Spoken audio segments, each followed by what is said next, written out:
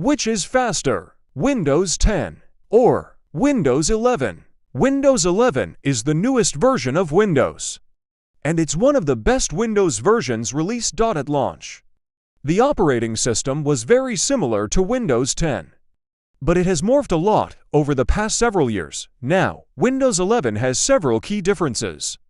Compared to Windows 10, although Windows 11 looks like nothing more than a reskin of Windows 10, the operating system packs in a ton of new features.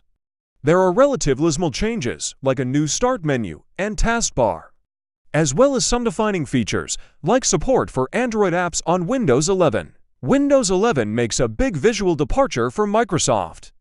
In the new operating system, Microsoft centers the taskbar and the start menu on screen.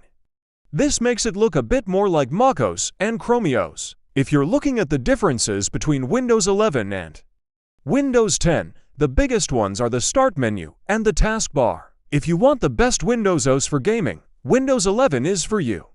Recent Windows 11 updates included optimizations for running games in windowed mode. And it supports features like Auto HDR and DirectStorage, an upcoming feature that helps games load in less than one second. Windows 11 solves a big issue with multi-monitor setups too. Windows 11 remembers how you had your windows on your external monitor and will save them in that state when you disconnect from a monitor and then plug it back in. Windows 11 is snappier than Windows 10. But the differences are small in real-world use. The various optimizations in Windows 11 help it to run faster on weaker laptops. But you're not giving up a ton of performance with Windows 10. I hope this helps.